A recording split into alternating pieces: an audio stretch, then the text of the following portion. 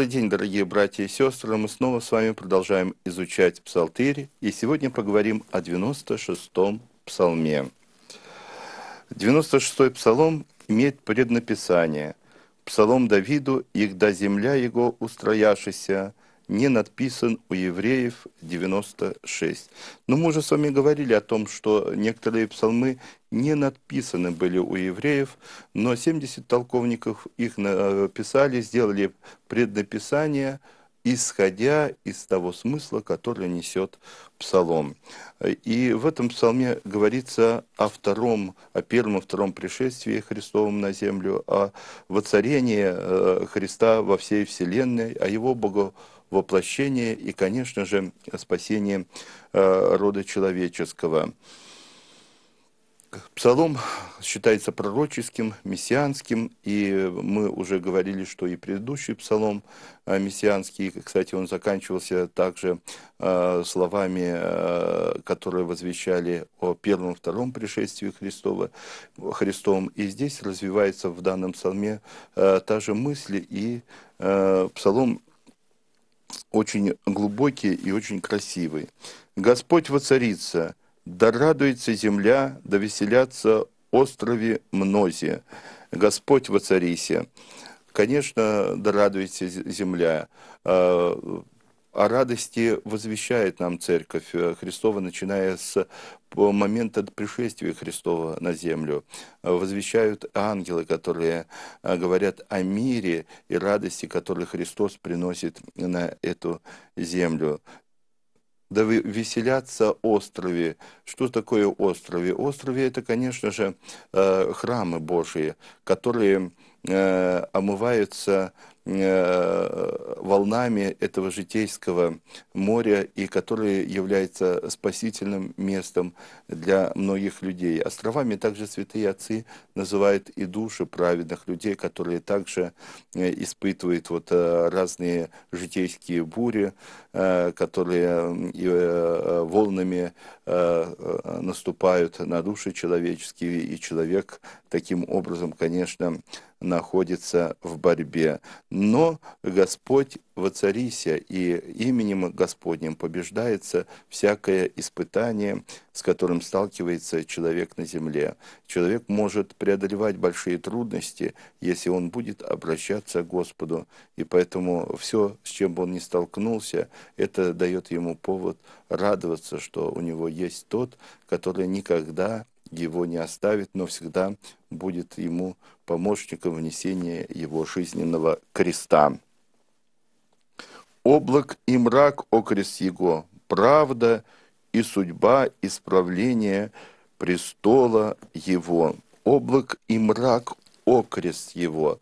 Конечно, очень глубокие слова здесь говорит псалмопевец Давид. Что же за облак и мрак? За облаками и мраком мы ничего не видим. Скрывается тайна. И вот когда мы видим такое небо облачное, э, думаешь, все настолько темно и мрачно здесь, на земле, но когда ты на самолете поднимаешься выше облака этого э, и выше этих облаков, то тогда перед тобой открывается красивое небо, светящееся солнце, и там как будто другая иная жизнь. Вот э, здесь э, такое очень сравнение глубокое дает псалмопевец Давид. Что такое облако и мрак? Что же скрывается перед нами в духовной жизни? Господь сокрыл свое божество через плод человеческий. Вот оно, это облако и мрак. Мы, и мы не можем постигнуть до конца нашего Господа. Мы не можем подняться ни на каком самолете, ни на каком даже космическом а, корабле там, где бы открылась сущности а, самого Бога. Для нас это, конечно, закрыто. Но то, что открыто для нас, а, то об этом дальше и говорит псалмопевец Давид. Правда и судьба исправления престола его. Э, утверждается престол самого Господа через правду и суд. И здесь вот э, сначала псалмопевец Давид говорит о воцарении, о пришествии Христа на землю, но тут же уже и говорить о том, что, что же ждет человека после этого пришествия. Ждет э, э, суд, потому что через это утверждается правда Божья, и через это утверждается престол его, на, чем и держится это основание, на правде и суде, который, конечно, будет обязательно э, давать, ну, мы можем говорить современным языком оценку э, человеку и праведному, и человеку, который э, жил не по правде Божией. Огни пред ним предидет и попалит окрест враги его. Ну, конечно, если мы говорим о врагах, то врагами называем тех, кто не принял Господа, тех, кто служит врагу рода человеческого и являются его последователями. Они являются врагами Божьими, они окрест Господа находятся, но огонь пред ними предидит. И эти слова тоже очень глубокие, они сочетаются со Священным Писанием Нового Завета. Мы знаем, что перед концом земля огню блюдома, и об этом огне э, говорится, и о огненной реке говорится в Ветхом Завете. Поэтому действительно этот э, огонь будет огнем очищения и попалит окрест враги его, то есть попалит, э, испепелит э, тех врагов, которые вокруг Господа. А вот потом будет суд, будет новая земля и будет новое небо. Но перед этим судом, конечно, будет явление Христово. Он придет судить. И он придет судить Э, видимым совершенно образом, так что не будет утаено, не, э, никто не будет утаен, и не он не будет утаен с любого места нашей Земли и Вселенной. А, осветиша а молния его вселенную в виде и подвижися земля. А, конечно же, мы говорим уже о новой земле. Если здесь подвижися, изменится земля, то она а, изменится уже в то состояние святого и постоянного. Будет новое небо и будет новая земля. Мы говорили с вами только что слова апостола Павла. Но а, а святиша молния Вселенной об этом также говорит, что пришествие его будет как молния от востока до запада, сверкающая и везде видна, так и Христос придет, а, а, осветив э, праведные, говорит нам э, святые отцы, потому что Почему Господь явится в виде молнии? Потому что солнце уже померкнет, светила небесные упадут, э, и будет все изменено в этой природе, и не, нечем будет осветить. И вот Господь осветит, Он как молния придет, Он собой осветит и озарит лица праведных, и этот суд будет уже не в темном каком-то состоянии, а в полном озарении божественного света. Горы, яко воск, растаиша от лица Господня, от лица Господа всея земли.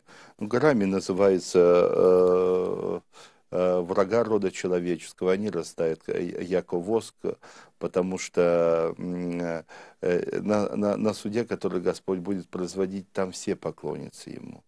И э, у, у Господь, э, мы говорили в одном из псалмов, что Он будет судить не только человека, Он будет судить и человека, Он будет судить и ангелов, Он будет э, судить и демонов. Здесь все будут подлежать суду. И очень хорошо поделились святые отцы, они сказали, что Господь будет судить и христиан, и неверных, и ангелов, и демонов. То есть каждый э, несет свое послушание перед Господом, и каждый за свое послушание будет, как свободные существа, э, отвечать. Человек, конечно же, за то, как он проводил свою жизнь, ангелы так, как они помогали и спасали человека, ну а демоны за те, э, как святые отцы говорят, тяжелейшие испытания, искушения, которые они накладывали на человека, дабы увести человека от правды Божией и от спасения. Вот, поэтому их сравнивать по их высокомерию, надменности, по их бесплодию, как говорят святые отцы, на горах много не растет. Вот, горы, як воск растаиша от лица Господня, от лица Господа всея земли. Опять-таки вот подчеркивается постоянно слава Божия, что Бог наш – это истинный Бог. И это очень важно понять, особенно в наше время, когда э, какие-то есть толерантные такие мысли о том, да, ой, вот там вот э, и э, у одних тоже Бог, и у других Бог, это один Бог, только разные имена. Э, боги, их суть бесови, предупреждает псалмопевец Давид. А наш Бог – он истинный Бог. Это Бог, который является Творцом всея земли, Господь всея земли. Наш Бог истинный, поэтому не надо истину смешивать э, с теми человеческими вымыслами или домыслами, которые э, существуют в нашей жизни. Но мы должны четко идти за нашим Богом. И вот очень часто, ведь э, мысль, которая возвращается псалмопевец Давид не один раз, значит, она очень важная мысль. И мы должны просто на ней сакцентировать и запомнить, что наш Бог – это истинный Бог. Он творец всей земли. И мы должны идти вслед за Ним и исполнять то, что Он нам повелевает. «Возвестишь небеса правду Его, и видишь все люди славу Его. Ну, какие небеса возвестили правду Его? Конечно, мы э, будем говорить о небе и говорить все то, что э, пришло нам познание, оно пришло с Богом. Бога откровение. Священное Писание – это божественное откровение. И все дела, которые Господь совершил, совершил здесь на земле и записано в Священном Писании, это слово Бога, которое обращается к, к нам, э, чтобы возвестить нам э, путь нашего спасения. Э, и возвестишь небеса правду его. Но а как земля узнала об этой правде? Ведь Господь проповедовал только в одном месте, а вся земля, вся вселенная знает эту правду, а знает лишь только потому, что пошли святые апостолы и проповедовали по всей вселенной о спасительном пути нашего Господа, о тех чудесах, которые Он совершил, о Его э, божественном служении, о Его страдании, о Его смерти и воскресении. Конечно, здесь святые отцы говорят, что небесами – называют святых апостолов, которые пошли и возвестили правду о нашем э, Господа. И видишь, и все люди славу Его. То есть все люди узнали о Господа и стали прославлять Его. Да постыдятся все кланяющие истуканным, хвалящиеся о идолях своих, поклонитесь Ему все ангели Его. Ну, опять-таки такая глубочайшая мысль, конечно, здесь закладывается псалмопевцем Давидом. Он э, говорит, постыдитесь вы, которые не верите в Господа. Кому вы кланяетесь? Истуканам вы э, хвалитесь о идолах своих. Кто они такие? Они суть творения рук человеческих. Они не несут в себе ничего кроме тех страстей, э, э, которые вы им даете и с которыми они соглашаются.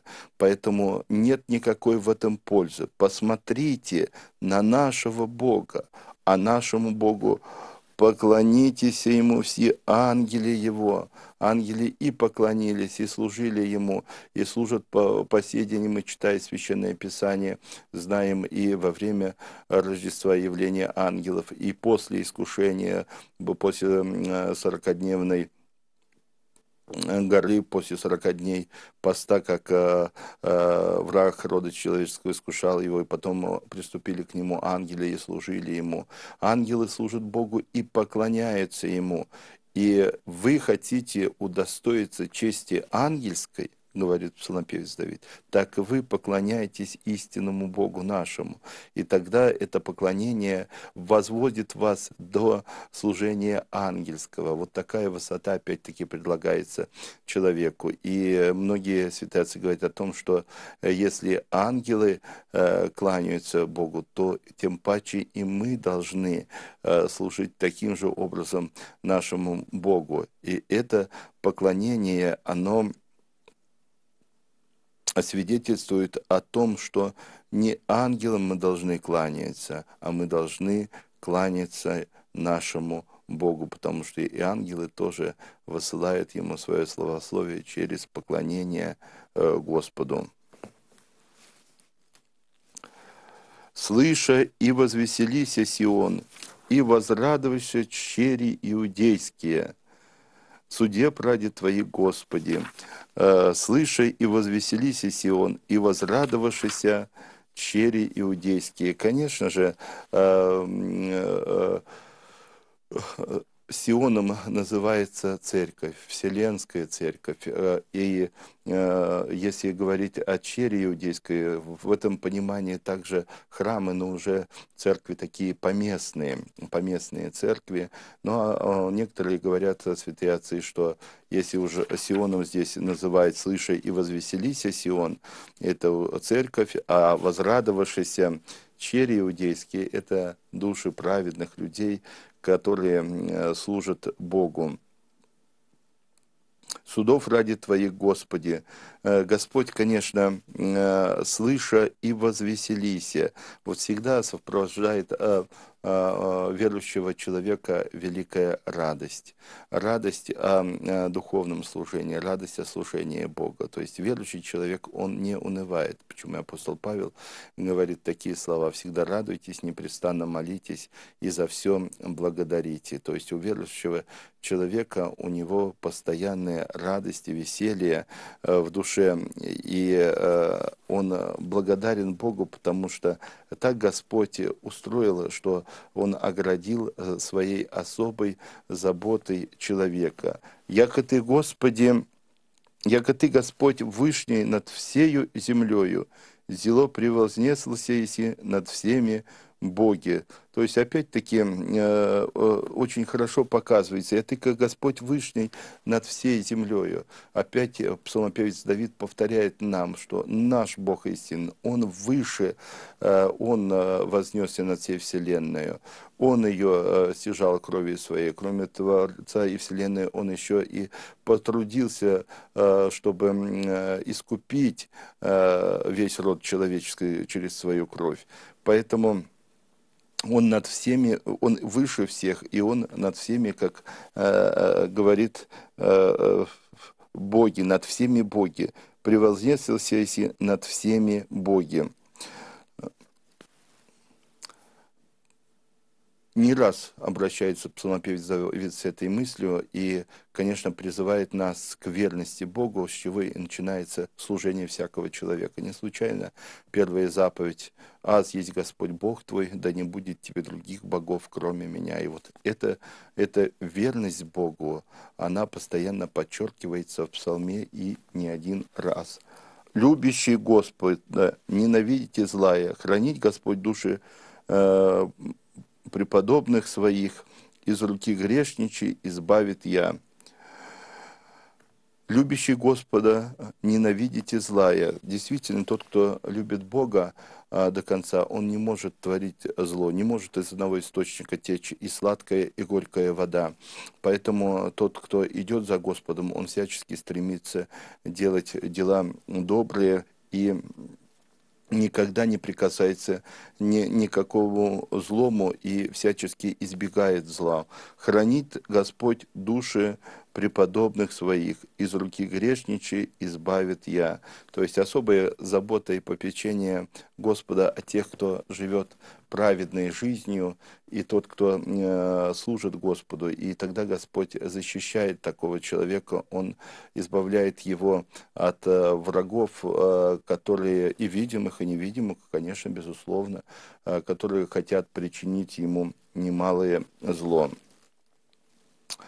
Свет воссия праведнику и правым сердцем веселье, свет воссия праведником и правым сердцем веселье. Опять-таки, очень тоже глубокие слова мы говорили о том, что э, Господь э, призывает человека к радости, но а как радоваться человеку, который не приобщился к духовному миру, он не может радоваться. У человека, который живет без Бога, у него постоянное уныние, отчаяние, у него не слезы э, покаяния, а слезы разочарования, э, слезы какого-то, какой-то безысходности в этом мире. И только человек верующий по-настоящему может радоваться, может благодарить Господа за все. Всегда радуйтесь, непрестанно благодарите, непрестанно молитесь за все благодарите.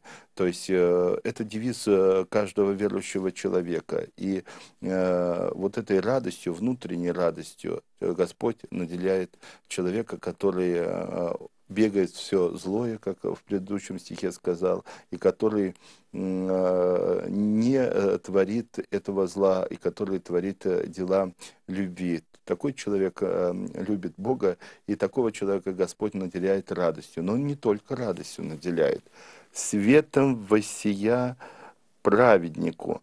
То есть Господь не только э, дает э, некий свет, некий такой путь или освещает путь праведного человека, но и праведный человек, он сам светится. Мы с вами тоже говорили э, об этом э, в, наших толкованиях о том, что э, праведный человек, он озаряется светом, а, и когда он исповедуется, и когда он очищает себя и делает э, дела добрые, лица, лицо его светится, светится как э, лицо праведника. И мы даже в нашей жизни современной таких людей тоже видим, которые живут высокой духовной жизнью, а от их лица невозможно оторваться, потому что есть свечение, есть тепло, есть э, такое вот какое-то внутреннее духовное притяжение. То есть люди совершенно озаренные, озаренные этим божественным светом, и они несут этот свет в себе. Поэтому радость и вот такое благодатное свечение, оно присутствует у человека святого и у человека праведного. «Веселитесь, праведные Господи, и исповедуйте память святыни Его». Ну вот здесь опять э, говорит псалмопевец Давид нам, что мы, э, нам необходимо исповедовать память святыни его, исповедовать это, прославлять, конечно же, э, святыню э, и святость, которую Господь принес в этот мир э, через те добрые дела, через исполнение заповедей Божьих, которым Он нас призывает. Но и, конечно, исповедание – это и исповедь грехов своих. Без нее невозможно человеку очиститься, осветиться и, конечно, веселиться – праведника Господи, веселитесь, праведнее Господи. То есть человек, который о Господе не может веселиться или сетует, ропщет, то это, такой человек неправедный. Но именно только праведные могут веселиться о Господу. Но опять-таки, чтобы это веселье было полным и э, полноценным таким, э, необходимо исповедовать память святыни Его. То есть исповедоваться перед Господом, очищать себя, и тогда это веселье и радость, оно будет возвращаться к тебе. Так как и легкость, э, наверное, вот такая действительно внутренняя легкость, радость в душе человека рождается тогда, когда он э, приступает к таинству исповеди. Приходит человек грешный, приходит примененный многими неправильными поступками, э, согбенный от тяжести этого греха, и когда исповедуется по-настоящему, со слезою, конечно же, то священник читает над ним молитву, и после исповеди человек отходит совершенно э, другой, обновленный, с легкостью, рассказывая о том, что он даже не чувствует под собой земли, как будто его какая-то сила поднимает над этой землей, он не чувствует своего веса, будь он большой или маленький, все равно ты его не чувствуешь, потому что Господь тебе дает легкость, а легкость – это обновление, то есть ты становишься совершенно другим человеком, а от этого у тебя радость и веселье и благодарность Богу, что снят с тебя этот груз греха, и ты уже приобщаешься к совершенно другому состоянию. Поэтому а, это состояние называется состояние праведности. А, вот, и эта праведность, она дает тебе внутреннюю красоту и возможность чисто славословить Бога. Тоже удивительный, замечательный псалом, исполненный, конечно, а, пророчеств различных и пришествия Господа на землю, и в то же время показывает нам, что если Господь пришел на землю, то Он проявляет особую э, заботу, чтобы наша жизнь здесь, на земле, также была наполнена и легкостью, и радостью, и весельем, и светом. То есть Господь призывает нас к более благодатному служению, служению, которое э, э, наполнит эту жизнь тоже радостью, а не той скорбью и печалью, которой мы живем э, повседневно.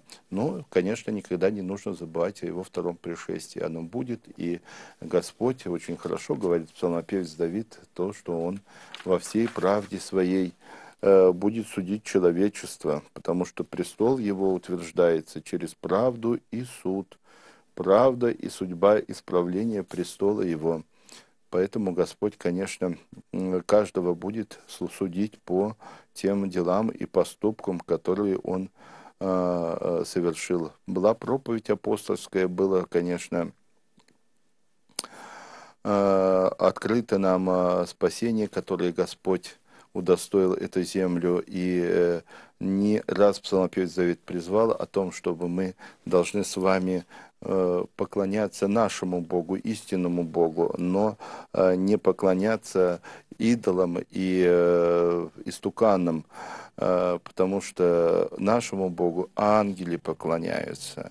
И вы хотите подняться до высот ангельских, значит, и вы стремитесь к поклонению ангельскому. Вот такой удивительный, замечательный псалом сегодня мы с вами разобрали, поговорили о нем, насколько нам позволило время. Ну, а Сейчас мы с вами прощаемся, и Бог даст до новых встреч.